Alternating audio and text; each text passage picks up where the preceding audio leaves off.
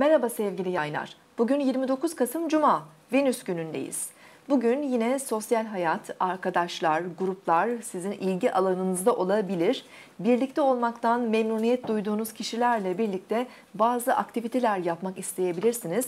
Bunlar için de harcayacağınız e, bazı e, maddi e, değerler gün içerisinde sizi meşgul edebilir.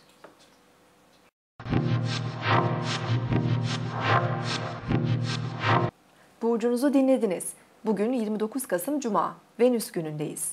Terazi burcunda ilerleyen ay ilişkiler konusuna dikkat çekiyor. Bugün yine denge arayışı içerisinde olabiliriz. Dün akşam saatlerinde ay Uranüs ve Plüton'la gergin açılar içerisindeydi.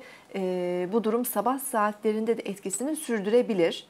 Ay öğlen 13.15'te Venüs'le kare açı yapacak ve ardından boşluğa girecek.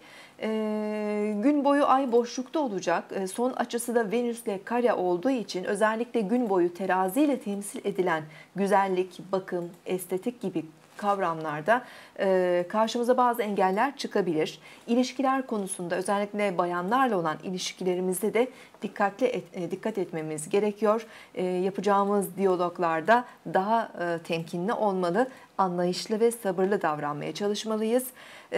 Özellikle güzellik ve bakımla ilgili işleri de bugün ertelemekte fayda var. Yarın tekrar görüşmek üzere. Hoşçakalın.